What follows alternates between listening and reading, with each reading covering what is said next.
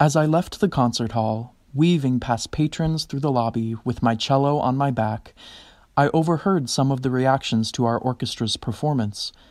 Well, that was different. I didn't care for that, I heard.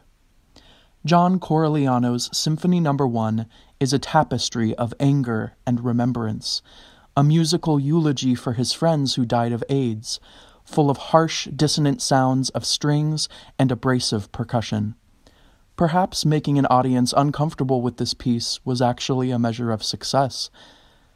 There is a reluctance to confront the truth of the tragedy that occurred during the AIDS epidemic the US government lacked urgency because the virus was predominantly affecting queer people, resulting in delays in research and resources that cost thousands of lives. As society grapples with the cracks in our system, clearly exposed by the COVID 19 pandemic, now is the time to have the difficult conversation that these cracks have always affected marginalized people disproportionately.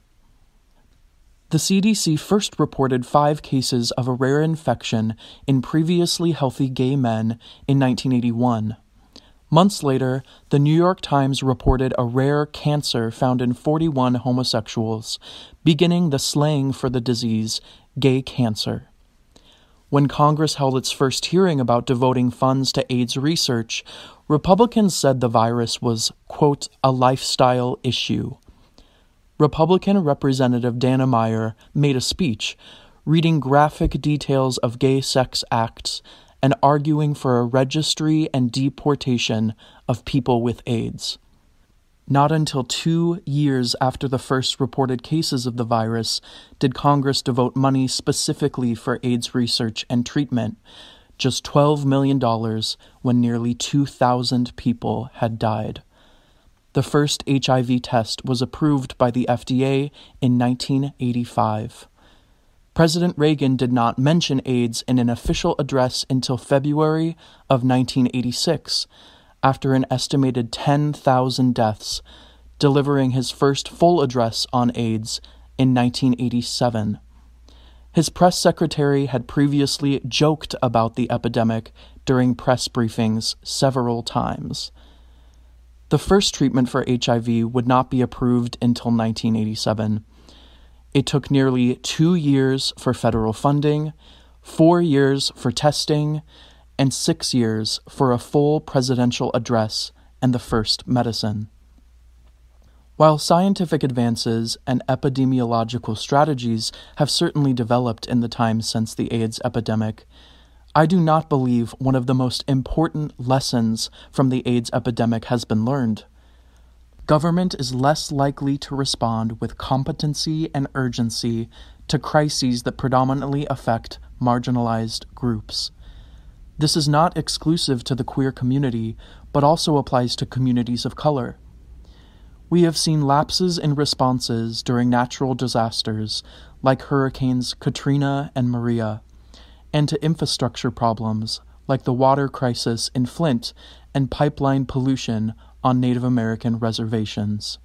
We have seen differences in responses to the crack cocaine epidemic versus the opioid epidemic. Now, over 770,000 Americans have died of AIDS, and the queer community still carries the tragedy and trauma of the epidemic, while stigmas persist. Several religious leaders have proclaimed coronavirus to be God's wrath for homosexuality, including Ralph Drollinger, the Trump cabinet's Bible study leader.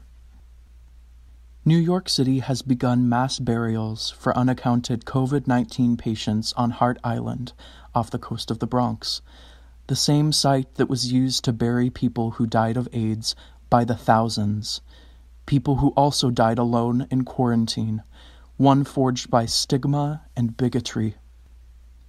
Those lost to the AIDS epidemic and those living with HIV today deserve respect and truth. During the early stages of their epidemic, there was no talk of flattening the curve. There was no emergency relief bill for resources and economic support. The government failed them and resulted in more graves that had to be dug, and it was because they were queer.